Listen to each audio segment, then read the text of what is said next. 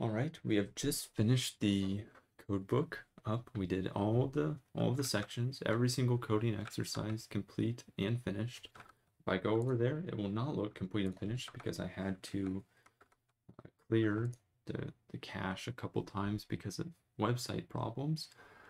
But as is well documented, I did complete every single coding exercise and I also read the textbook somewhat when I wasn't not I didn't read it out loud, obviously, while you know streaming or whatever recording. But um, so now we have this uh, user survey right here that I'm going to go through and hopefully provide some feedback.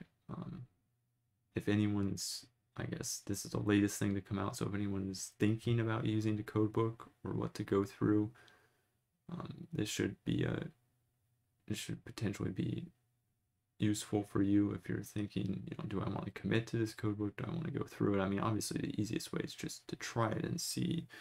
Um, I'm also going to design it so that on the off chance that anybody who makes the code book or I mean, I guess it's open source, so anybody could just do anything with it.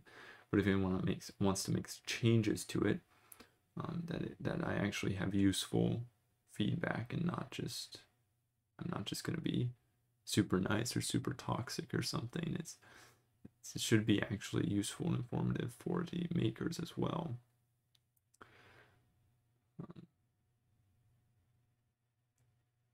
So yeah, we'll just get right into it. I didn't actually realize I clicked on this as soon as I finished the other video that this was this is actually a a user engagement study. You know, I thought it was just some corporate feedback, but this person here is getting a PhD at University of Victoria. I assume that's in Canada. I have not heard of that university, but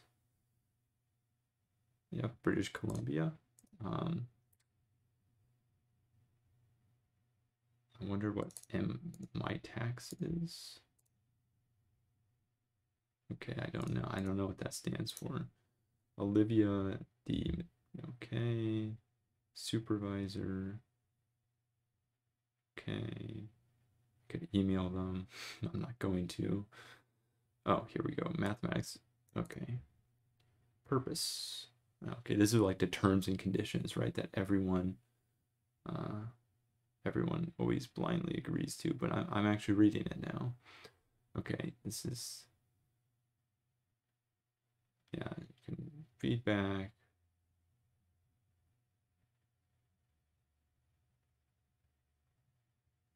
There is possible. Wait, what is this?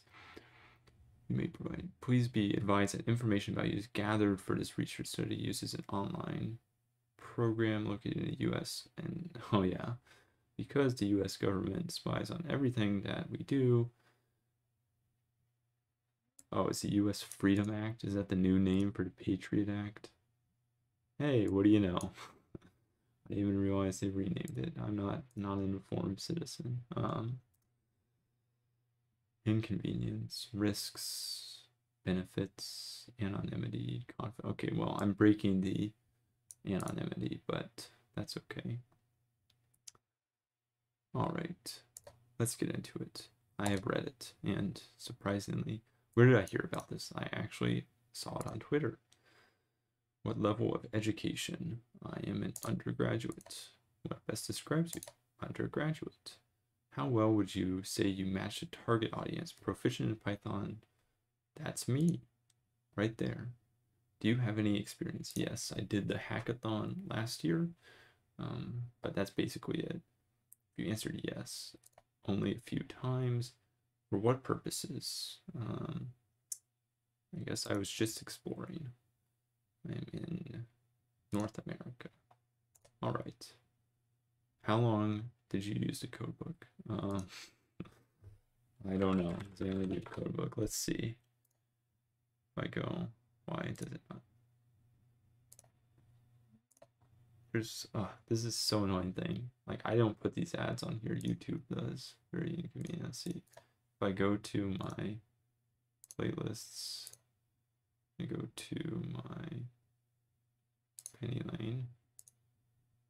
How many, how long have I put into this? Each video is about Yeah, that's the one that's being uploaded right now. That just finished. see, three hours, four, five. Yeah, okay, a lot of hours, many hours. I'll say, okay. Let's see. First of all, here's a here's some feedback. There's a giant gap right here. I was gonna say like 15 hours is probably in total what I spent in the code book, but it's two to 10 and 20 to 40. Okay, first thing right here, first point of feedback. If anyone's gonna fix this, make make a section that has some some some gap here. Um, I guess I'll round up. It's 15 rounds up. I don't know. I'll say 20 to 40 because that was just the 15. I don't know. Maybe 10 is total for videos, but then there's also other stuff I went through. So we'll just leave it at that. Also, greater than 40, that's so long. To what extent have you completed the coding exercises? I completed every single one of them, in addition to the ones that aren't even labeled here yet. For each of the modules, how well do you think the code exercises match the prerequisites? Introduction. Yes, they were fine. Algorithm, they were fine. Grover, I don't, I think Grover was fine too. I think Hamiltonian simulation, that one I struggled with. I'll be honest. And not because of like, it was like annoying things, if you remember that discussion. Okay.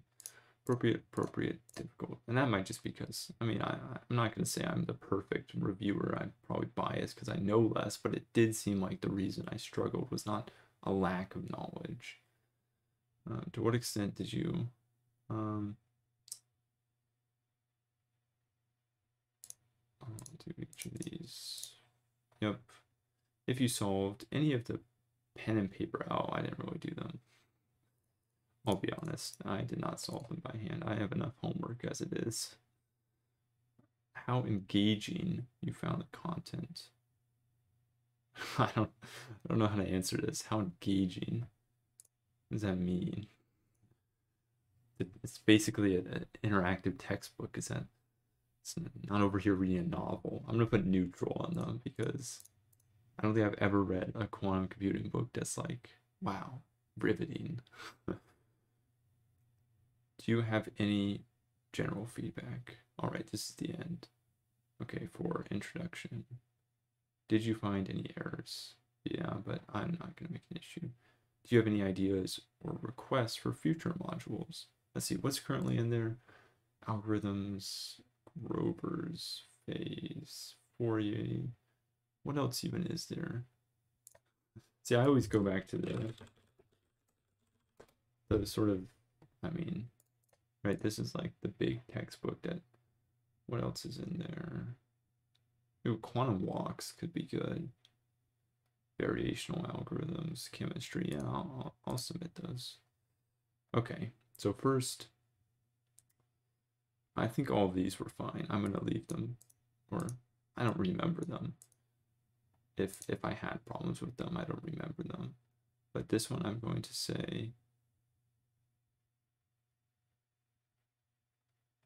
um, so I'm going to say, or maybe I'll, I'll think about that. First, I'll write, what was I going to say? All right, quantum walks. Also, this video is not as informative as I said in the beginning. I realize now that that was an overestimation of my reviewing abilities. Um, oh, and variational algorithm. Variational algorithms. We'll just leave it at that. I think those would be two good add-ons. All right. How intuitive did you find the user interface? Um, seemed uh, I'm gonna I'm gonna put three here because the user interface was fine. Actually, I'm gonna put two. Uh, I'll put there. I don't know. The reason I'm thinking this is like the core, right, of all the problems I encountered was that. Okay, I'm definitely putting two. All the problems I encountered were that the using of the code interface was not was not good, right? I frequently had to, not frequently, but I inconveniently had to open up stuff in my own thing to be able to debug. I didn't understand some of the plots didn't make sense or weren't labeled. So I think this is like this is the this is the big thing that I think could be improved.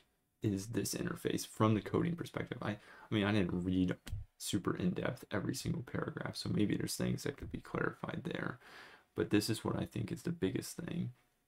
And so that's why I'm going to say the coding exercises are cool, but I do not think that I'll, I'll direct this feedback for anyone considering using this textbook. I would say use it if you're going to use it. I mean, I mean, try it out and, and see what you think. If you like to style, you like to style. If you like to style, use it as a textbook and have a little fun with the coding exercises. But I do not think the coding exercises really are that useful from a pedagogical standpoint.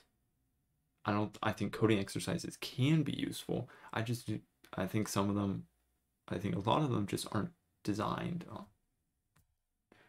properly so that you really understand or help understand what's going on, right?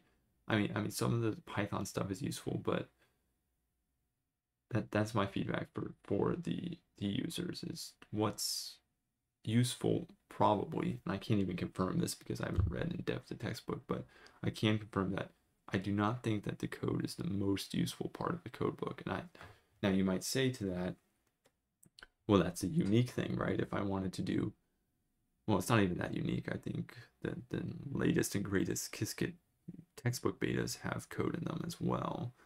Um, but not in, in a different way i guess than this and so you might say, well, why use it if, if there's no code, right? It's called the code book. And I, I mean, I don't have an answer to that. I'm not trying to sell you on the code book. I'm just trying to provide feedback. But that was my, I think that was my experience was that, especially since I'm not at all an expert on a lot of these areas. I mean, I'm not an expert on anything, but I don't know that much about a lot of these areas, but I could easily get through the coding exercises. So it doesn't seem like right? The coding exercises, like the knowledge should be a prerequisite for these coding exercises. So now I'm sort of talking to anyone who's interested in designing this or making similar things or whatever, right? Um, I'll, I'll write this down too. I'm just going to leave these blank because I, I think this, the structure is whatever. I, I don't have any problems with that. Would you like to see? Just say, I mean, yes, but I'm not fluent in any other languages. So we'll say, do you have any feedback? The coding exercises had annoying experiences with debugging coding exercises. X, holy cow, I can't spell.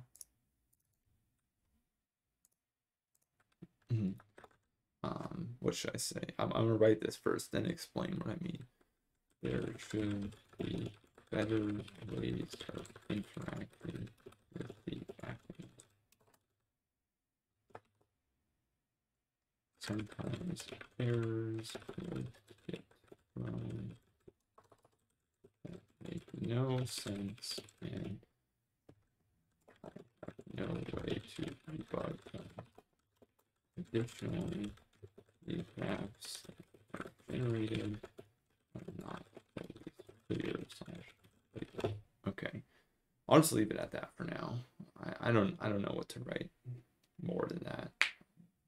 I'll just say because I, I don't have like well structured thoughts that I'm gonna translate in the paper, but what I'm gonna say is that there's two things. One, I don't think so first I'll say that the bug debugs, right? That in my code is just I don't think it's a bug in the backend at all. Is that you got to put a better way to debug things, right? That that I got pretty annoyed in, in some of the previous instances of being able to work with the code is not always great because some some error gets thrown. I have no idea why that error gets thrown. Not that Python errors are necessarily super helpful, certainly more helpful than C++ errors, but not that like a Python error by itself is enough, like a, a good reference, but it doesn't tell me usually it tells you the line number right if i if you're writing a python code it's like oh this on line 47 you know doesn't work um, but there's there's no information provided for a lot of errors right for that for example that ufunc error i just looked up with with the gcds so there there has to be a better way, and, and I don't know what it is. I I'm not.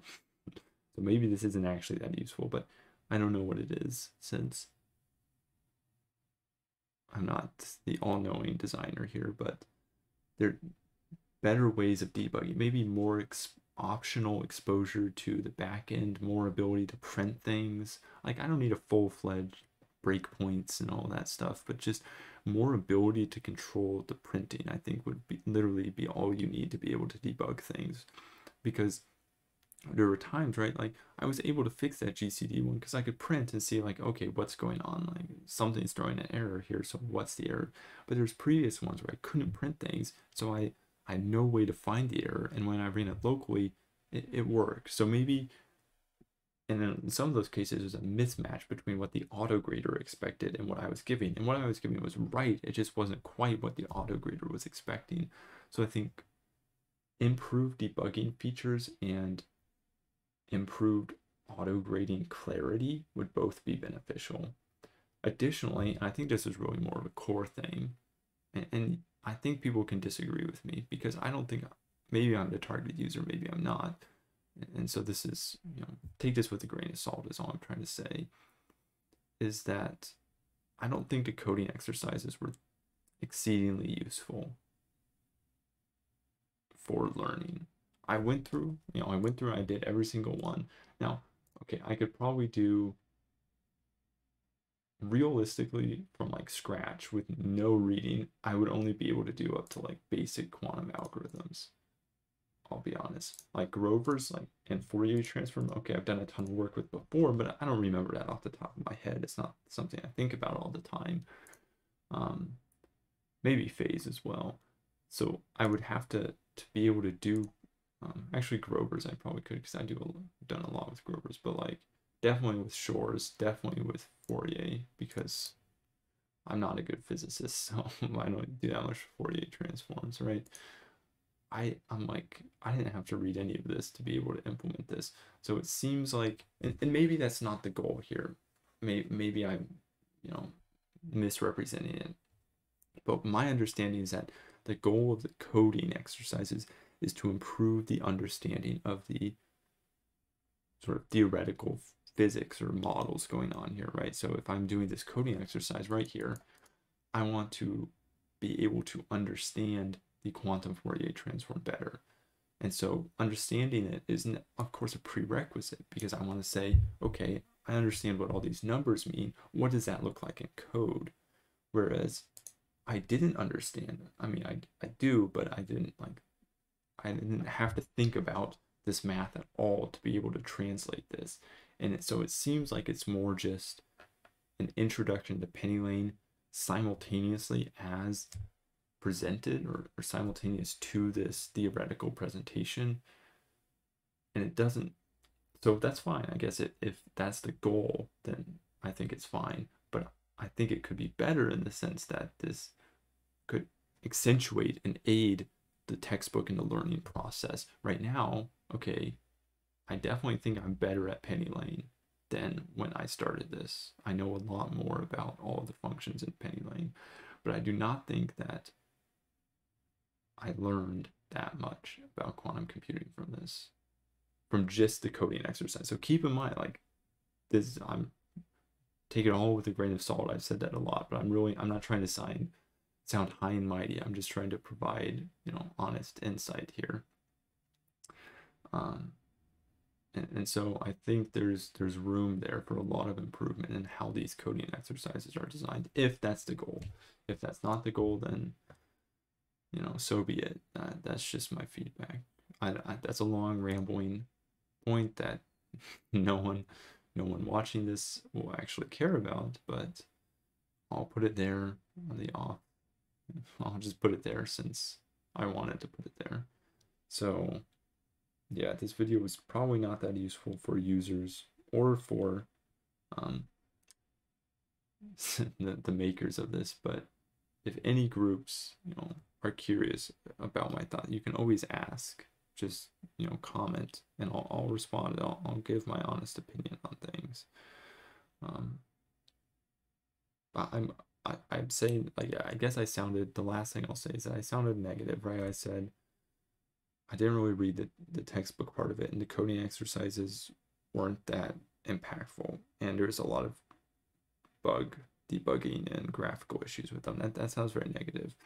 But I want to encourage this sort of thing. I think the more information is out there, the better. That's the very reason that I started this.